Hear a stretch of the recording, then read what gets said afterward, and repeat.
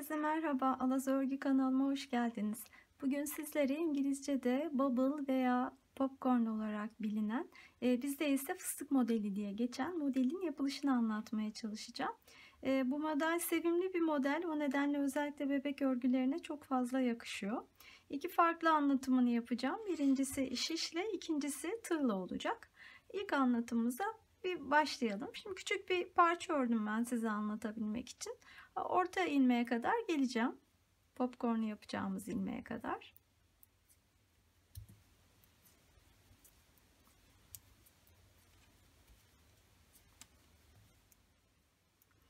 Orta ilmekteyim. Şimdi bakın düz örer gibi ilmeğe batıyorum. İpimi çekiyorum ama bunu şişten çıkarmıyorum. Bir kere e, şişime doluyorum. Aynı yerden bir daha batıyorum. Şişime bir kere daha doluyorum. Aynı yerden bir daha batıyorum. Ve bakın bir ilmekten toplamda 5 tane ilmek çıkarmış oluyorum. Hemen tersini çeviriyorum örgünün. Ters yüzde olduğum için bu 5 ilmeğin tamamını ters olarak örüyorum.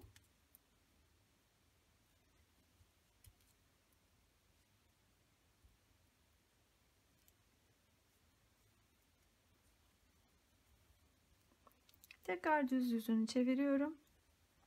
Bu sefer düz olarak örüyorum.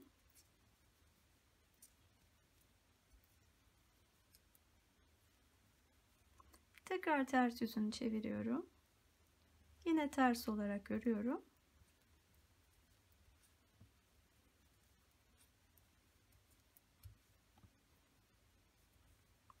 Son olarak düz yüzünü çeviriyorum ve keseceğim şimdi bu ilmeklerimi. Bakın nasıl kesiyorum. Önce ilk 3 ilmeği birlikte şu şekilde alıyorum. Tekrar yapalım.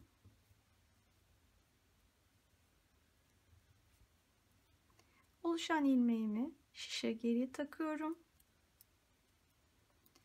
Dördüncü ilmeği bu oluşan ilmeğin üzerinden geçiriyorum. Beşinci ilmeği tekrar bu ilmeğin üzerinden geçiriyorum. Şu şekilde ipimi çekip arkadan oluşan popcornumuzun şeklini düzelterek sonraki ilmeği sıkı bir şekilde bakın arada boşluk olmayacak şekilde ipimi gergin tutarak örüyorum. Sırayı tamamlayalım. Hemen arka taraftan birlikte örelim bir kere de.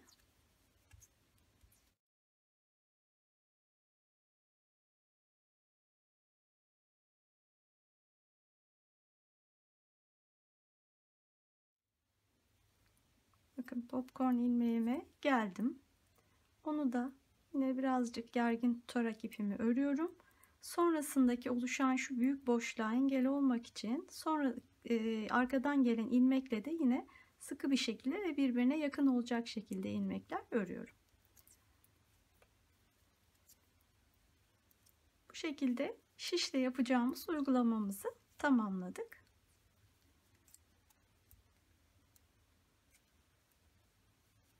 Bakın popcornumuz oluştu. Şimdi ben araya birkaç sıra öreyim. Hemen tığla yapacağımız uygulamamızı da gerçekleştirelim. Evet videonun ikinci bölümünde e, popcornumuzu tığla yapacağız. Yine orta ilmeğimize kadar gelelim.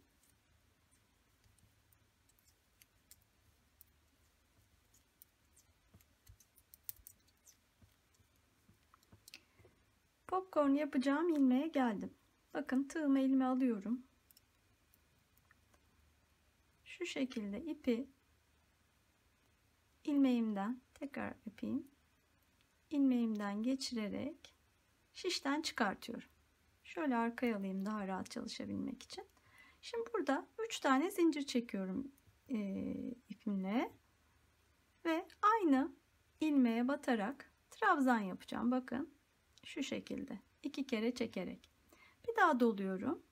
Aynı yere batıyorum. 3 oldu. İlk yaptığımız zincirlerle birlikte 3 oldu. Bir daha aynı işlemi yapıyorum. Dolayıp batıyorum ve iki kere de çekiyorum. Son kez doluyorum. Aynı yere batarak iki kere de çekiyorum. Bakın her birinde bir ilmek oluştu. Toplam 5 tane trabzanımız var ve 5 tane de ilmeğimiz var. Bunların hepsini bir seferde çekiyorum. Şöyle de birazcık e, ipimi çektirerek bir form kazandırıyorum.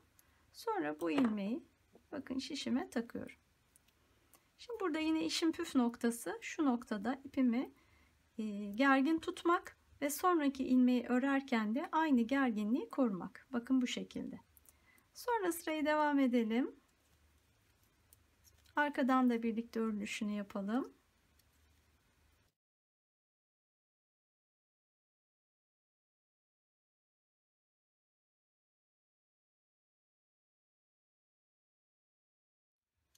Evet popcorn yaptığım ilmeğime geldim. Onu yine ipi gergin tutarak örüyorum ama daha da önemlisi sonraki ilmekle arada bakın kocaman boşluğa engel olmak için burada bu iki ilmeği birbirine yaklaştırarak ve ipimi çok sıkı tutarak örüyorum.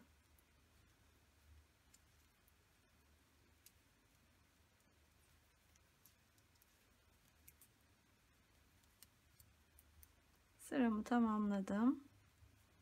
Bakın ikinci popcornumuz da oluşmuş durumda. Form olarak birbirine çok benzemekle birlikte bana yapım açısından tığla yaptığım model daha kolay geliyor. Siz tamamen kendi e, tercihinize göre hangisi daha kolay geliyorsa ya da hangisini yapmaktan daha keyif alıyorsanız yapabilirsiniz. Bu şekilde iki yapılışını da görmüş olduk. Dediğim gibi bebek örgülerine çok yakışan bir model.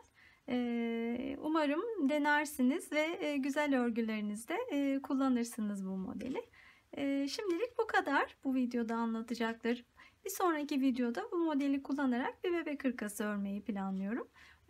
O videoda görüşünceye kadar şimdilik hoşçakalın, sevgiyle kalın.